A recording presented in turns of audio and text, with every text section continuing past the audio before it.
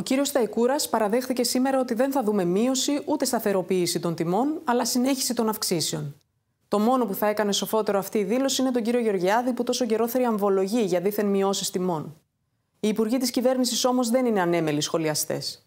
Ξεχνούν ότι ενώ αυξάνονται οι τιμές, οι ίδιοι επιμένουν να μην μειώνουν το ΦΠΑ και εντείνουν την οικονομική αφέμαξη των νοικοκυριών.